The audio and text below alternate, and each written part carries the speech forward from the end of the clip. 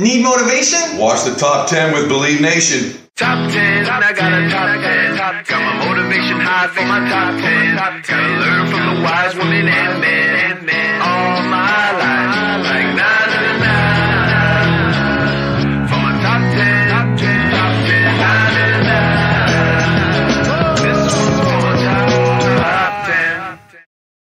it's Evan Carmichael, and I make these videos because chances are you are the most ambitious person in your circle, but you know you're capable of more. And you get that push by surrounding yourself with the best. So today, let's learn from one of the best, Ed Mylett, and my take on his top 10 rules of success.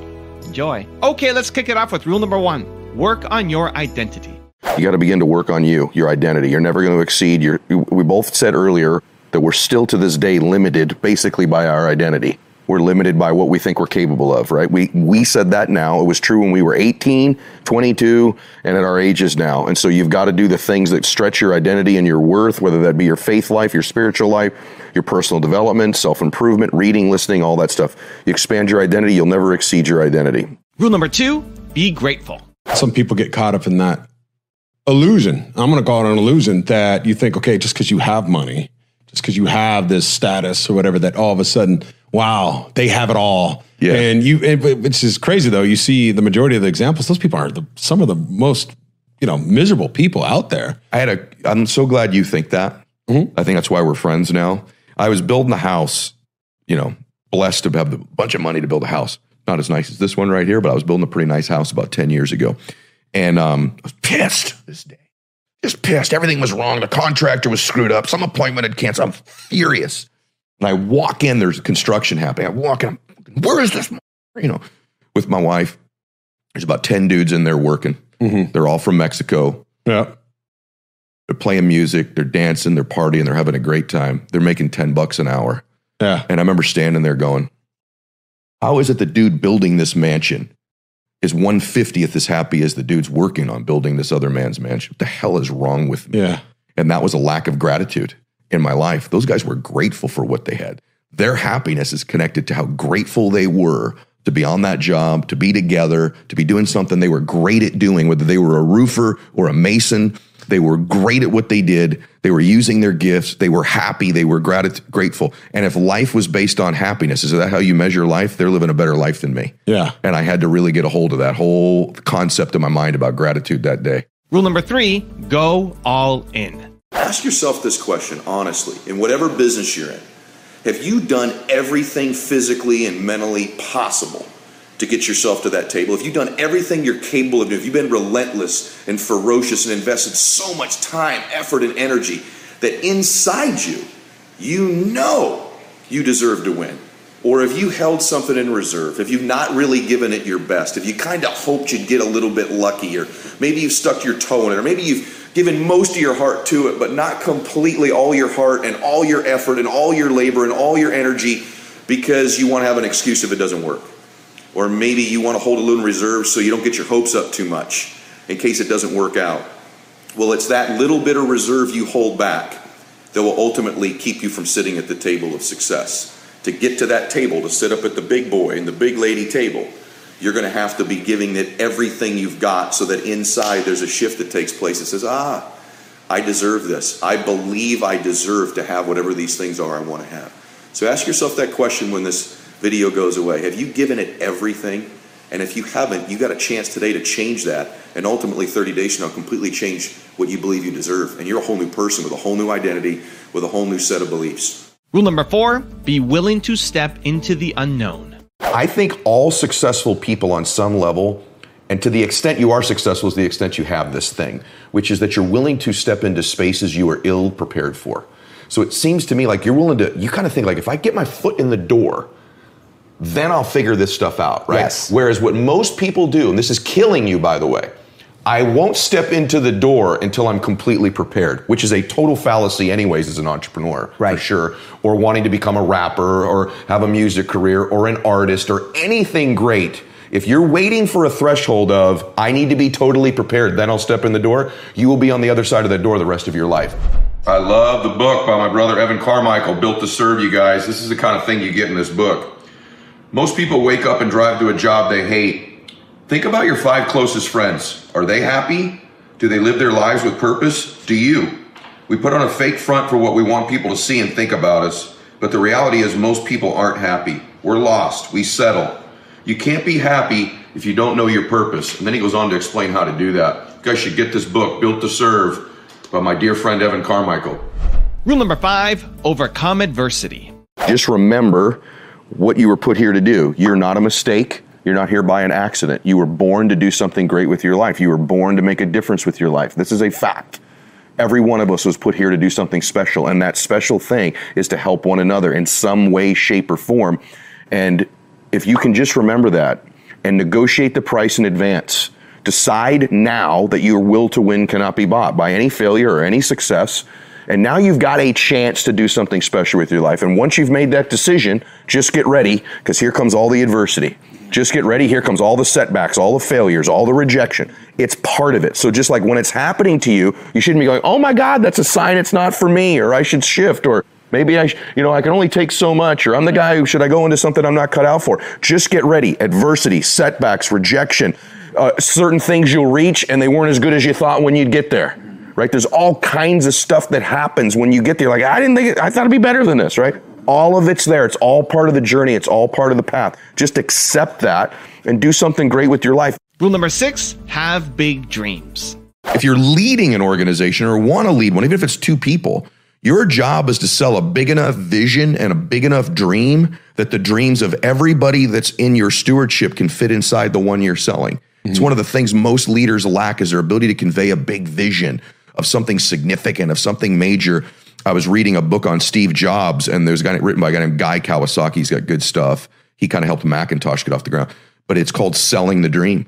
Mm-hmm. And he talked about how Jobs was just evangelical about their cause and their mission, and it was infectious. I, I, a good buddy of mine now has become Steve Wozniak, who was one of the other co-founders. Yeah. And he's just a completely different dude. He's Yeah. not that dude at all. But Apple doesn't happen if Jobs isn't this visionary dreamer.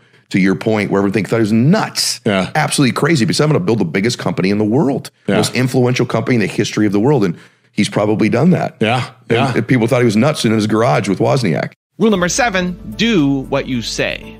For those of you that want to build more confidence in your life, you want to become a super confident person, it's very simple.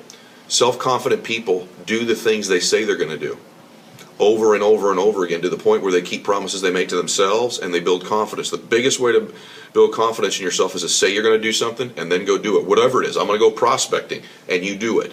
It's not even necessarily always just a sale or just a recruit or just something big. It's even the little things. I'm going to get up earlier.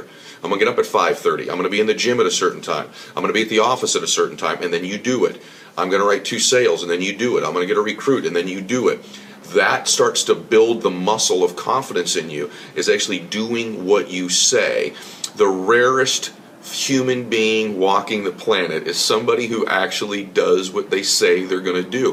When you get a new person into your organization they say i'm on fire. I know these people. Or i'm going to do this this or that watch what they do. If they actually go do five six seven field training appointments the first week if they get three four five people to the meeting now you've got a great new recruit. If they actually go do those things now you've got a new person that could do something not based on what they say. Begin to listen far less to what people tell you they're going to do or what they're thinking and feeling and watch them watch how they behave watch what they do and for you to become a leader for you to become a champion for you to become world class at whatever it is you're involved with I'll submit to you that if you're a person who does what you say you're going to do, you are the rarest of all humans walking the earth. You're in the 1% if you actually do what you say you're going to do. And you have confidence when you do that. If you're someone watching this and you say, you know what, I've not consistently done what I said I was going to do, you need to operate out of your imagination, not your memory. You're not your memory. You're not who you used to be. You're not your past. Operate out of your imagination. Operate out of your vision, not your memory. People operate out of their memory often just repeat the same cycle in their life over and over and over again. People operate out of their imagination, people who operate out of their vision, move to a new place. And so if you've been somebody who's not always done what you said you were going to do, that's that's a memory. That's in the distance. We don't need to focus on that. We need to focus on our vision and begin to build a habit of moving towards and becoming the person we want to be. And the person we really want to be is somebody who does what they say they're going to do. Someone who's a real friend, who delivers as a friend. Someone if you're in love with somebody that you you act and do and treat them like you're in love with them. Someone that's in business who does and acts and behaves and performs and produces like the way they say they're going to do. And when you begin to do that, then you're a real teammate. When I know I can rely, when so and so's they're going to do five, they do it every time. It's in the bank. And when you're that reliable, you have self confidence, and then I build confidence in you. I have confidence in you. If you are a part of my business or my team, you earn my confidence. You earn my trust. You earn my respect, and you earn it by doing what you say you're going to do. You earn my friendship that way.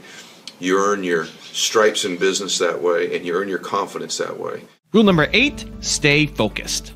Stop acting like you don't know. Stop acting like you can't get it done, like you're one key away, one mentor away, one this away. You know what you're away? You're one belief and one activity away. You're one new recruit in your business from changing your life. You're one new client, one breakthrough, one distinction that you make away from doing something great. Get totally immersed in it like I talked about earlier with my dad's cancer, get totally immersed, stay focused in that area. Don't look at 50 different things and decide that's what you're going to do with your life. And now you got a chance to do something. Rule number nine study successful people. The one thing that burns me, and I don't, I don't spend a lot of time on it, is if you're going to study a mentor, have a couple mentors in business or personal development like we're doing, can you please make sure that they've been successful outside yeah. of telling you how to do it? It'll, you'll find that the circle is very small of those of us that are in this space that have actually built something significant. That's the only thing. If I'm going to go to the gym and get trained by a trainer, I want it to be somebody in great shape. Yeah. You better you better live what you're teaching me.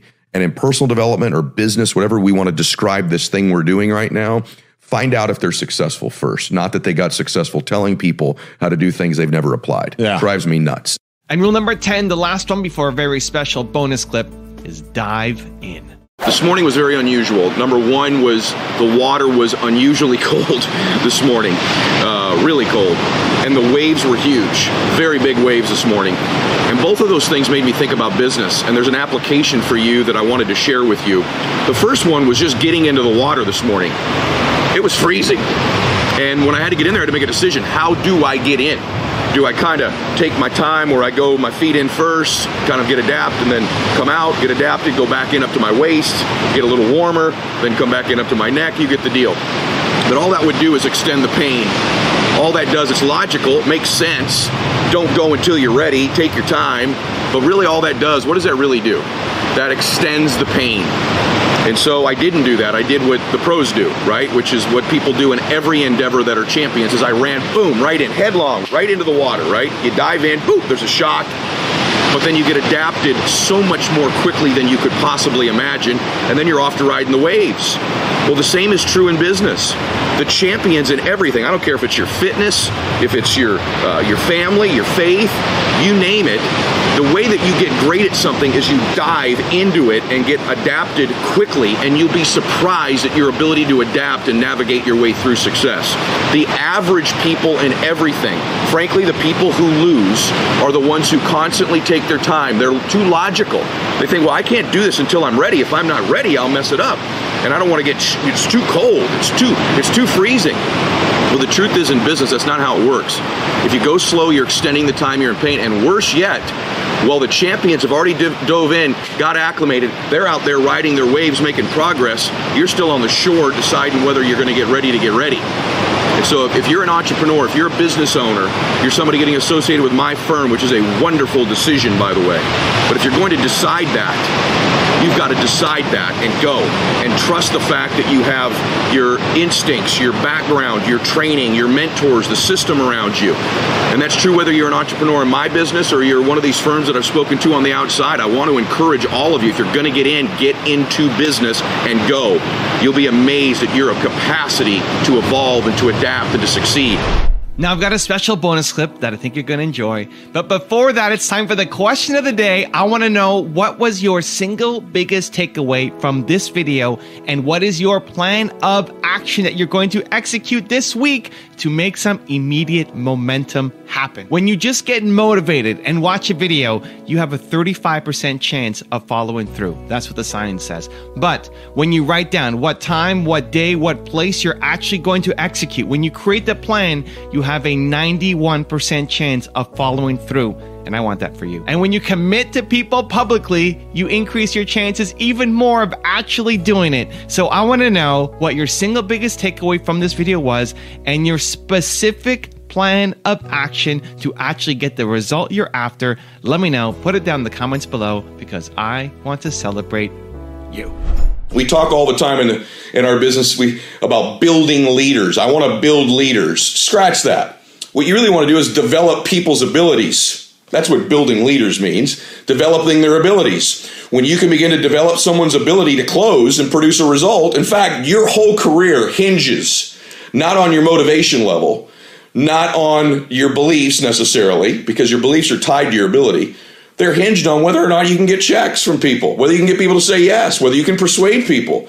And then the degree to which you succeed here will be predicated upon simply this how good are you at transferring that skill to how many people? The more people you can transfer the ability to get yeses to, the better your business is going to do. Excuse me, the lights went out here on my computer. I'm going to give myself a little bit more light. And so that's what's going to be the difference maker in your career. People say, well, what about beliefs? Well, developing somebody is really two things it's developing their skills and developing their beliefs. Well, which is more important? I don't know. I know this. If I can really do something very well, I begin to believe more in my business. And so I would say probably the skill set of being able to do something is more important than believing me because once you get me to be able to do something, I believe I can do it. My beliefs go up that I can succeed at something. Let me give you an, an example. If I were running a gym or I were a trainer at a gym and I brought you into my gym and all I ever did was motivate you, you're going to be a, you're going to be so fit. You're going to be one of the great workout people of all time. You're you're going to be in incredible shape. You know how great this dream's going to be. It's going to be amazing how fit you are but I never teach you how to use any of the equipment. I never teach you how to produce any results. But week after week, you come in and you think we're going to work out. You think I'm going to train you on how to use the equipment. That would be normal, but I don't. You come down every week to my gym and I motivate you. I give you a pep talk. I give you a speech. I talk about a whole bunch of things that really don't matter week after week. If you stop showing up after a while, should it surprise me if I owned a gym and you came down there every Tuesday night and every Saturday and I never showed you how to use any of the equipment? Or very rarely did I. See, what starts to happen is when you come to the gym, you start to not know how to use the equipment. You don't want to use it. Heck, you might embarrass yourself if you use it. You might even hurt yourself and look bad if you started to try to do this workout thing I've never taught you how to do. And the more and more you come down, the more and more you begin to get scared of doing it because I've not taught you how to do it. The more your body doesn't change, the more you stop showing up and you eventually quit. It ought not to surprise my if I own a gym. It ought not to surprise you if you own a WFG business. Your ability to train people how to use the equipment of WFG, which is closing, is everything. It, it's everything plus everything you else you could come up with. If we own a jewelry store, I said this earlier, we own a jewelry store, your success is predicated on your ability to get them to buy jewelry. If you owned a Domino's Pizza, your success is predicated on your ability to get people to buy pizza. If you owned a, a Jiffy Lube, your success is predicated upon your ability to get people to do oil changes with you, closing them, persuading them to do things that are in their best interest. They ought to change their oil. They ought to get a pizza from time to time. They ought to have a nice piece of jewelry. But it doesn't matter how motivated you are if you can't do it. And so, what I'm telling you is everything in our business is closing, is the ability to teach people to close. Ask yourself a question on a scale of 1 to 10. If you think, let's say I'm a good closer, or your executive vice chairman's a good closer, 1 to 10, if they're a 10, where are you? And that's where your income is. That's where your success level is in WFG. It's not that you're not motivated. It's not that you haven't bought the dream. It's not that you don't love the company. It's that you can't close, or you only close okay. And then how many people have you developed that can really produce a result? They can give a presentation, they can do a hiring interview, recruiting interview, they can go in the field and they can get a check. That's a business. Our business is actually very easy. It's very simple. It takes no talent. It's all skills. Once somebody develops skills, their beliefs go through the roof. But you can't fool me. You can't get me all motivated about something I know I'm not skilled yet at doing. You can give me every speech you want Tuesday nights. I can come to every convention and every wealth bowl you ever put on. But the fact of the matter is, you are not going to convince me I can do something you've not equipped me to do. Get into the business of equipping yourself, equipping your teammates.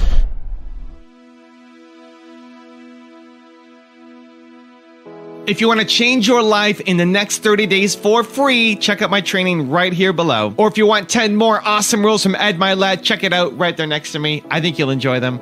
Continue to believe, and I'll see you there.